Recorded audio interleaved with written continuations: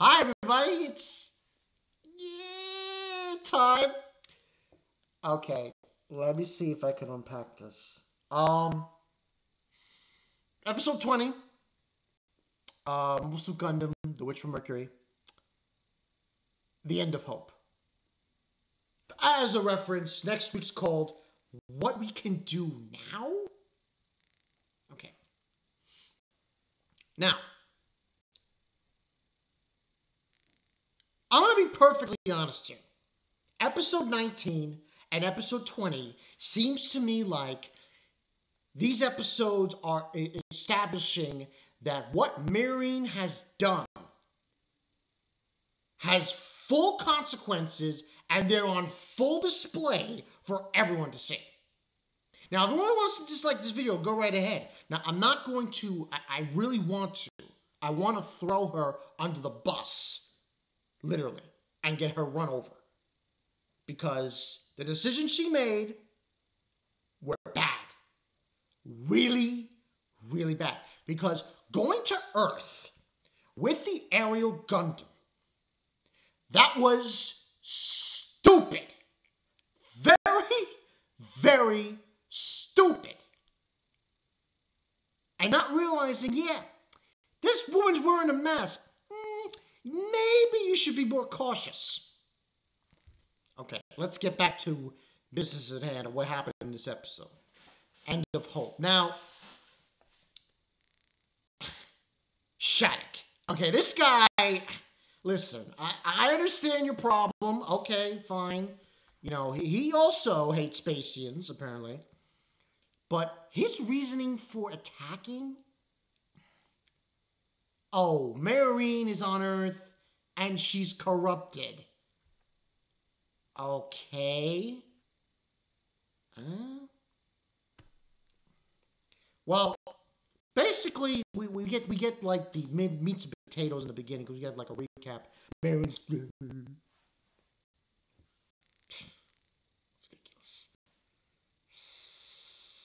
I'm trying not to, to, like I said, I got a dislike last week, and I'm trying not to hate on this character, but her decision making is stupid. She's very, very stupid. She needs to go back to school and know how to make better decisions. Anyway, you see her in the beginning of the recap. We see Norea, the witch from Earth.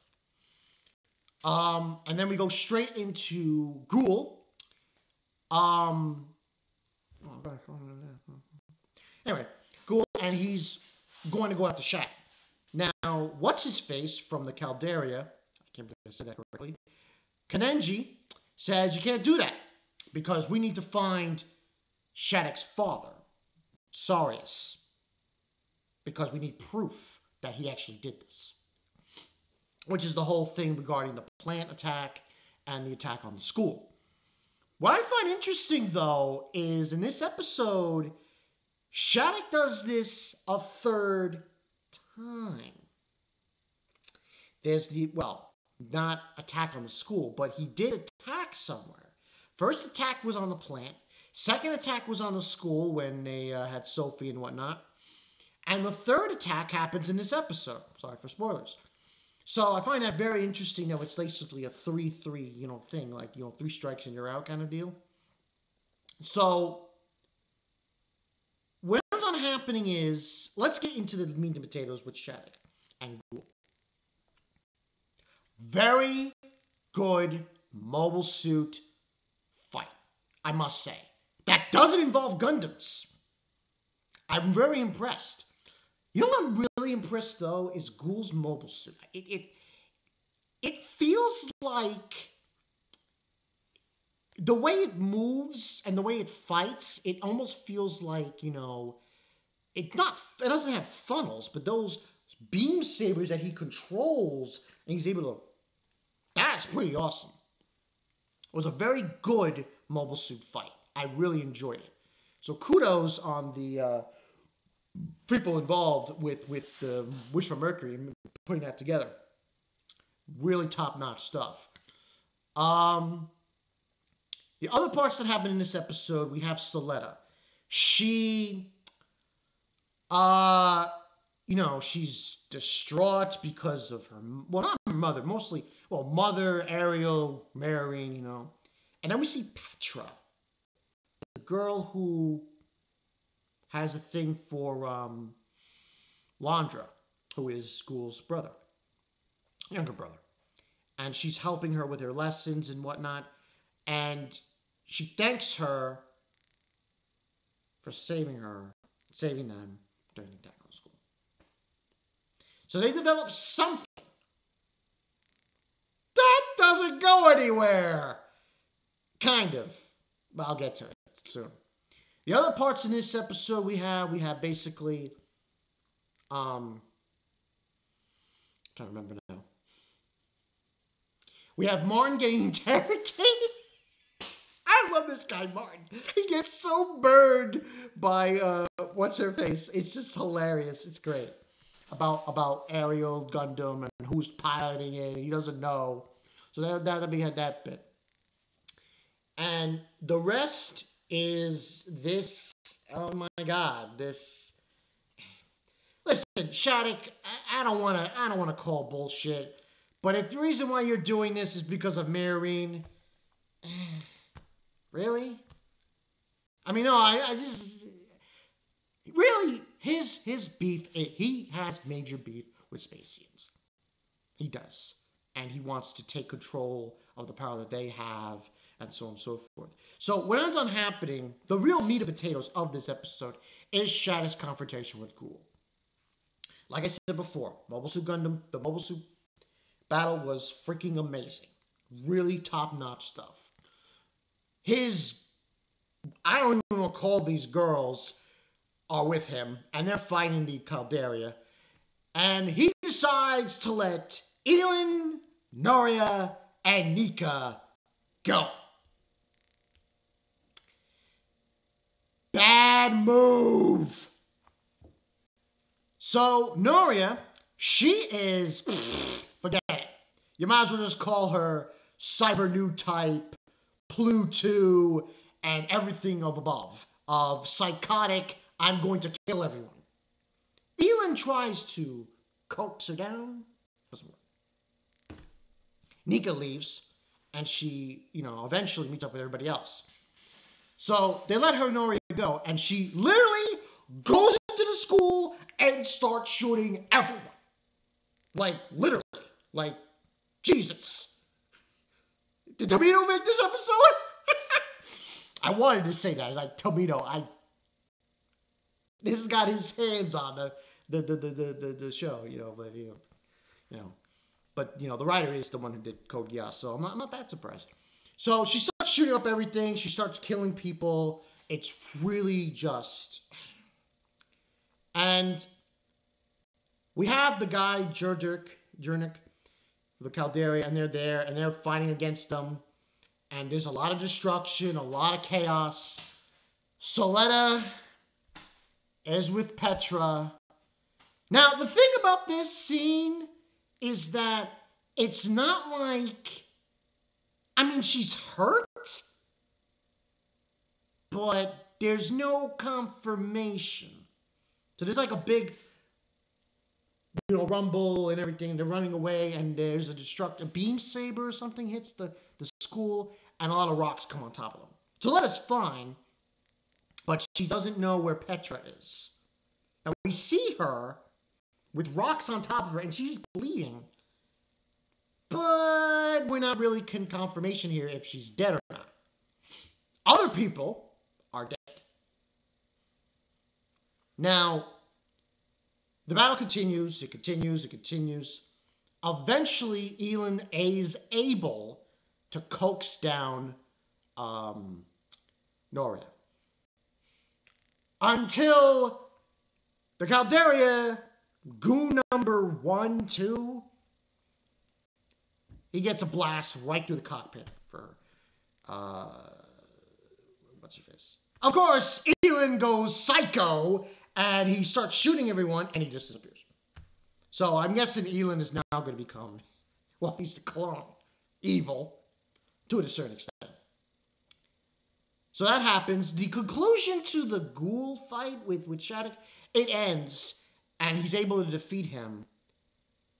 And they get him. He's arrested. He's arrested. The other girls are arrested. Uh, I don't know what, what the, you know, the court system is in this series, in this universe, but attacking a school and causing mass death, I don't think you're gonna. No, no. So they get caught. Um, and we see Sarius says, My foolish son. so when this all happens, Mika shows back up. I forgot to mention it. Choo choo! Choo choo! She shows up. She gets a, a mobile suit from um, that sexy lady. I forgot her name. And she ends up fighting as well. But then the fighting stops, as I said before. Now, Suletta, uh, Nika is going to want to apologize to her, but she says, not right now. And she says, I have to help find. She basically wants to find survivors. So she starts lifting boulders from the wreckage, and they're going to help her. And that's the episode. Now, honestly, I kind of saw this coming. You can't really have two villains here. But then again, Shock really isn't the villain. I mean, he's he's there, and you could call him an antagonist, but he didn't really have any involvement. And you see, this is the problem I'm having with the show right now. Now, I know I mentioned a, a couple of episodes ago about, oh, Suletta's just jettison out of the plot. Now, yes and no. She's still in the mix, but I don't like. It's like she's the main freaking character. And they got. Oh, I understand character development. We need to have character development. That's fine. But eventually, you got to stop that because there's chaos everywhere. There's chaos on Earth. There's chaos at the school. I mean, oh, I forgot one mention also. Guel's brother, he knows because Shaddiq told him through the communicator that Guel killed their father. So that's another thing that's just going to be like, holy shit. But they basically, you know, as I said, they're, they're. See, the decisions that were made in episode 17 and 18 are one of the most stupidest decisions I think in this series. Now I know people are gonna say dislike, oh I'm gonna dislike this video because this guy said that, but the fact of the matter is this. You're trusting someone. Someone tells you to go to Earth to stop the riots. We'll bring Aerial Gundam. Yeah. No. That is stupid. Why would you do that?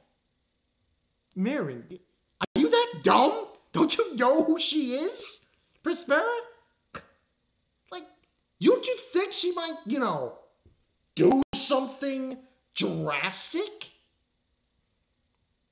Listen, I'm not, I don't want to hate on Marion, but she put herself in harm's way. It caused a big huff. Shaddiq was upset about it, and he attacks Guel, and they attacked a school. Guel school. So everyone who died, I don't want to say this, everyone who died on that campus, that blood is on Miorine's hands. Because she put herself in danger and that forced Shaddiq to make a move. Come on. Not to mention the fact that, yeah, you were trying to protect Suletta. Good job, by the way. She almost freaking died. She didn't, but that's not the point. The episode was good, 10 out of 10. But I just feel like some characters in this show are really, they're not using this. Now, beside the point, like I said, I'm not, let's wait and see. You know, uh, we still got a lot of episodes left. We still got five. Next one's called What We Can Do Now. And be like, yeah, I know what you can do. You can find a mobile suit Gundam and go to Earth and, and stop your mother. uh, that's probably not going to happen. But it seems like next week, it's probably them going to find the bodies, find survivors. Um, they're going to have a trial. Freaking Shag's done. He's like, he's over. He's like, uh, like I said before, I don't know what the court system in this universe is, but I doubt he's getting off. Especially his father. His father's like, that, that, that is like the most, that is the most hardest thing I can think I've ever seen in a Gundam series. You kidnap your father, they caught you on attacking the, the, the area, the school, and the father's like, my foolish son. You know that father's gonna be like, yeah, fry his ass. but, you know, I, am gonna give, I'm giving this a chance. I, I, I, I like what's happening here. I like that we got this episode because this was pretty impactful. You know, last week we got good, good, good you know scenes of of, of uh, damage of um, war crimes. Here we got a, big time uh, chaos happening. So there's there's a lot of things to delve in here. As far as Elan's concerned, I really think he might come back um, to try and attack the Calderias. Look out for that. Um, maybe even join with Prospera. Who knows? That might have been possible. But overall, good episode. I just. Marion. Eh. I want to. I honestly want everyone's opinion. Listen, people, comment down below. What are your general thoughts on Marion's character? I might even do another video. By the way, this week I have only three days I'm working. So I'm probably going to do that on Thursday. Do a video on Marion as a character. And just, you know, just get some insight because eh, this is Ivankai 922. A lot of death! I think Toby Tomino directed this episode. I think he did. I'll see you guys later. Peace.